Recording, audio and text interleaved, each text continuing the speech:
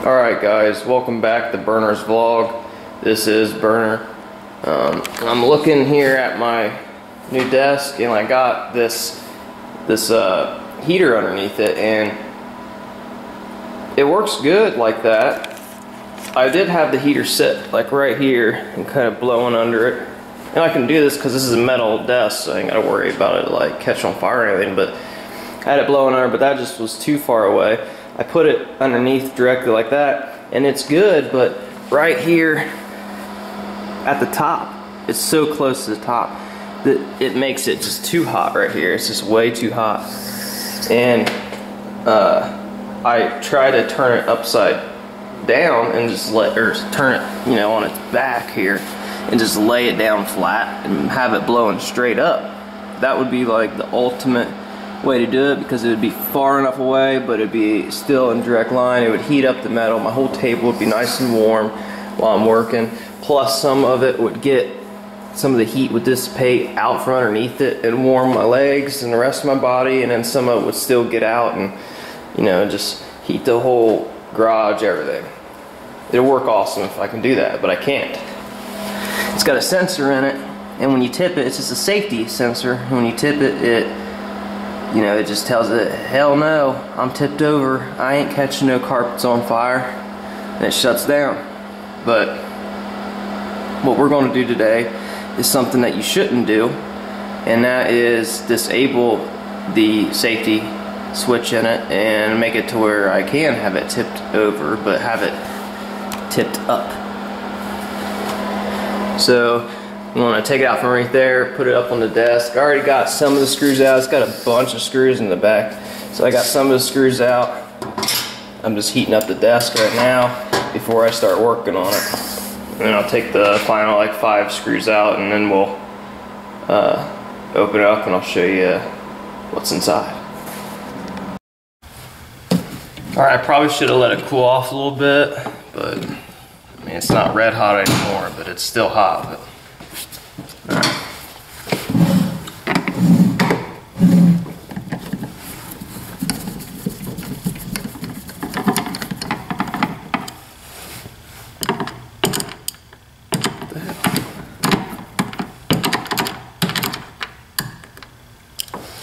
Damn.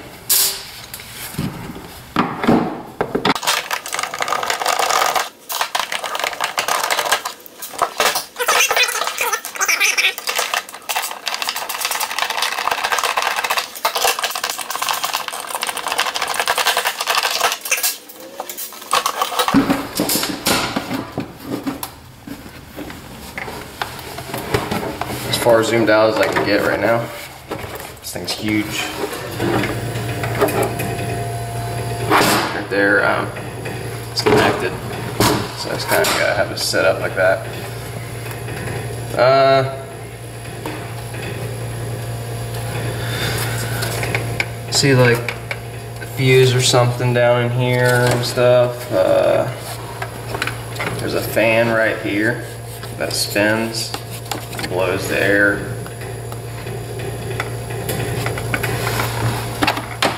Alright, right here looks like it's the sensor. Right here. So this is the thermostat. Let me zoom in so you guys can see. When I turn the knob in the front to change the temperature.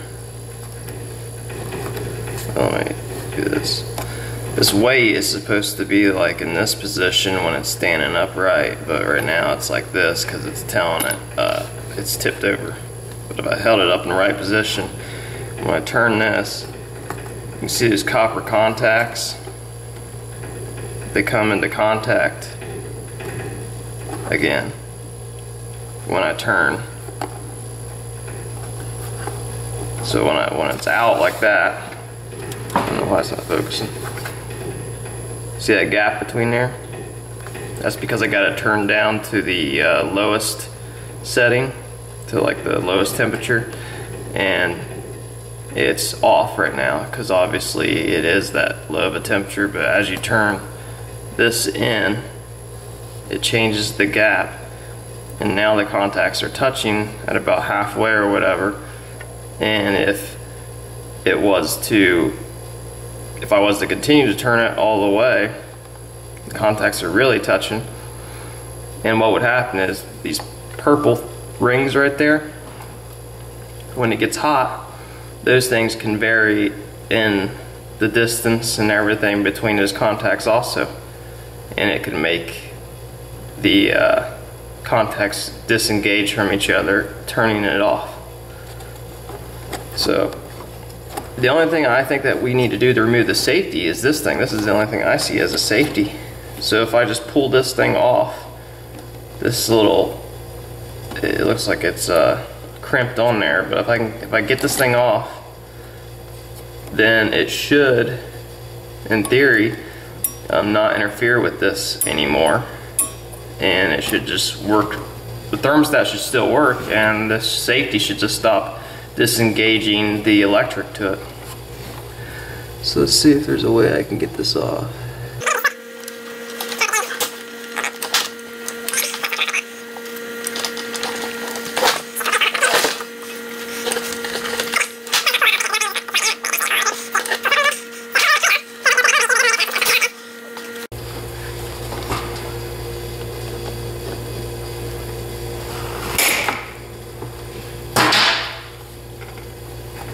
Snapped right there, one slice.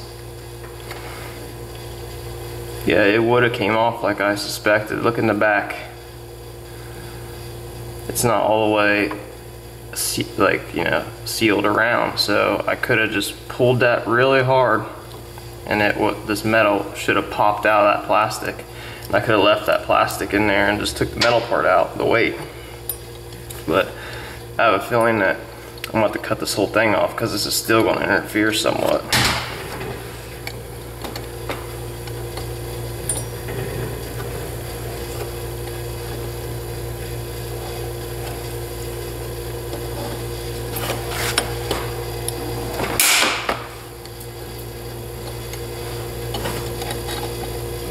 I'm just spinning it around, cutting anything that sticks out. I could touch that.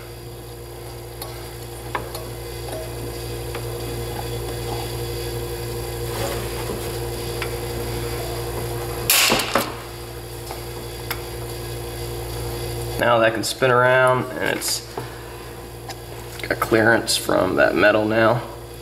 There's no way it's getting close to this metal.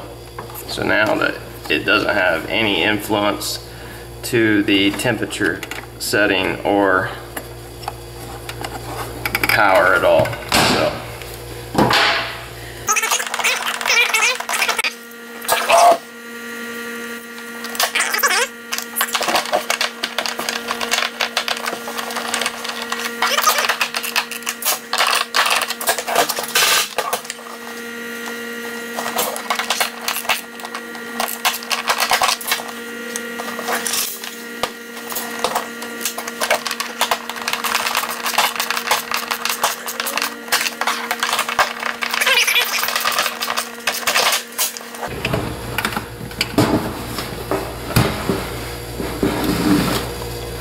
All right, plug it in.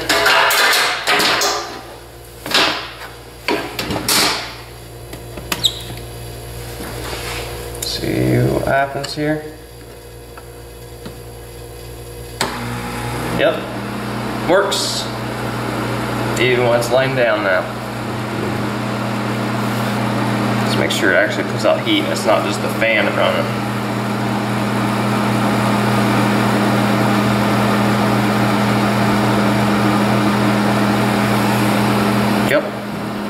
Feel heat coming in.